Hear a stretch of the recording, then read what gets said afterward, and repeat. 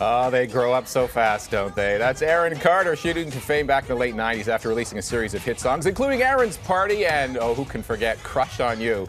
My daughter was his biggest fan. He also starred in the reality series House of Carters with his brother. Backstreet Boy Nick and competed on Dancing with the Stars. This year, he returned to his musical roots by launching a North American tour. Aaron Carter is in the house on the morning show. Good morning. How you doing? Thanks for having me. Great to have you here. Just as we were in the break uh, and coming up with that video, and you looked at it and you said, uh, you know, you're 25 and you've been in this business for 18 years. Yep, 18 years. What kind of life is like? uh, So, did you go to school? Yes, I did. Of You course. did? Yeah, actually. You I, like? I, I mean, rather I, than just having tutors or things like that, you were still in regular school I day? started off in regular school, and I, I, I stopped at about second grade, and then from second grade I entered into homeschooling, and then I just knocked it all out. You know, did homeschooling as I toured because you know I started so young. So I, you know, of course, obviously I had to get my education. So Do you ever wonder what a normal childhood would have been like? You know, it, my normality is within my life, and that's how I look at it. It's like, you know, I, I, I was talking to my mother the other day, and, and she was like, you know, everyone always says, you know, eh, do you wish you had a normal childhood? And she said, you know, Aaron, you had a great childhood. You had, you've had tons of girls screaming at you and throwing you gifts on stage, and you got to see the world. And when, when you, you know, did, in, you, you did, um, you know, history lessons and stuff, you were there actually. You got to see the, the things in, in different in different places. So, you know, I had a great I feel like childhood. you almost had two lives. You know, Aaron Carter, the stage star, and then Aaron Carter, the son of. Oh yeah, absolutely. Oh yeah, absolutely. I mean, when I went home off of tours and stuff, I, you know, I rode four wheelers and played with my dogs and rode on boats and went fishing and stuff like that. That's that's what I did. Now, at the same time, child fame is just no joke. We see so many examples of, of, of kids who are just not able to go through adolescence without some sort of trouble. Right. Did, did you experience some of that? And Oh, how did you deal with it? Yeah, you know, um, well, I, you know, I started off a very young, you know, young performer. So I started off as a kid, which a lot of performers these days who are kids, they start off kind of as preteens and teenagers, not, not really as mm-hmm. little, little kids, you know? So I started off as a little kid, and, and then I made my transition into a preteen, released an album, my second album for my preteen years, Aaron's Party. And then I did, you know, I made my transition into being a teenager, and now I'm just making the transition in, into being an adult.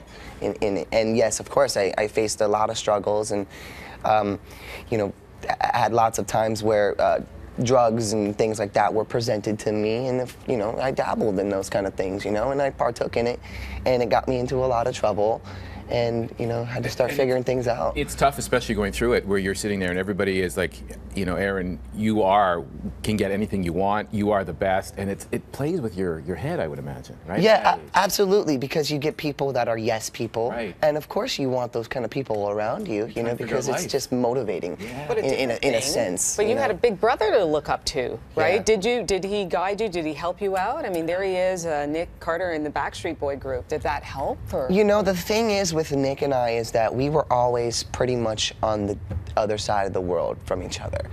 So N- Nick really couldn't help, even if he wanted. He couldn't really do that, even if he wanted to. So it was kind of something that I. It was a. a you know, a, a battle that I had to pretty much do on my own, and and I, I talk to people about this all the time, and I say, you know, yes, I understand where, where I went and, and, and, and what happened. And, and, and when I was about 15 years old, my mother and father were my managers, and you know, they were pulling at me left and right. And then all of a sudden, you know, they divorced. And then when they divorced, as a kid, I'm like, okay, you know, where do I go? You know, what do I do? So when I turned 18 years old, I was just kind of standing there on my own trying to figure it out. And at that time, there was a lot of damage had been done. My parents were fighting each other in the media and stuff like that. And it, it, just became, it became very difficult. And for me, uh, record, record executives wouldn't sign me. Producers wouldn't make, make beats for me. Writers wouldn't write songs for me. Publicists wouldn't book me stuff. And booking agents wouldn't get me concerts. So I had to start trying to figure out, okay, what am I going to do, you know, to lay down the ground and, and start rebuilding myself and rebuilding my life. And I invested most of the money that I had made in, from in my trust account into uh, producing gear and like you know equipment and stuff. And then I learned how to become a producer because producers would. So I said, okay, if someone's not going to produce music for me, I'm going to figure it out on my own. You know, and I'm going to figure out because I have millions of fans out there, and I have to find a way to get out there. And you know, during the course of all that, I was still dealing with addiction problems and and you know going through that as well. And it was very difficult, and I had a lot of proving to do. And then um, when I was 19, towards the end of that year, uh, Dancing with the Stars, an opportunity you know came up, and I was like, oh my God, here we go. You know, this is my this is my chance. You know, and I did Dancing with the Stars, and it, it was a lot of pressure and a lot of anxiety ridden. You know, and then Physically challenging, yeah. too. Oh yeah, completely physically challenging. Did it do for your career what you hoped it would? It's it's actually funny because I always say God works in mysterious ways, you know, and and the way it was kind of laid out for me was I did Dancing with the Stars, and it kind of got me ready, like my brushed me up on my dancing skills, right? Right. And then a year and a half after that, I auditioned for an off-Broadway play on Broadway in New York City called The Fantasticks. Oh, wow. And I completed over 415 shows in a course of like a year and, and eight months or something, eight shows a week. And the only two breaks that I took was my sister died of a drug overdose last year, mm. Her funeral, and then my grandpa's funeral this year. And those are the only two breaks that I took. And I, you know, that was my proving ground. It was like, okay, I gotta really prove myself. And a, a, a booking agent that used to work for Live Nation came to me and he said, you know, I noticed that you've been on the Fantasticks for a long time. And of course, you know, through the course of that, I was like, yeah, you know, when is anything gonna come from this? You know, like I'm doing the same thing over and over and over. And I'm just praying, you know, and I, I prayed every night. I said, God, please, you know, let me tour again, let me tour. And the booking agent came to me and he said, you know, I believe in you. I think that we can get you out on tour. And he booked me 19, 19 is. shows. And then it went from 19 to 40 to 75, completed 75 earlier this year, and I booked another 75. Well, you're putting right the now, work so in. that's my the story. Work in. That's amazing. And you're performing tonight in Kingston, Sure am. and then you will be in Vancouver in November. Mm-hmm. Fantastic.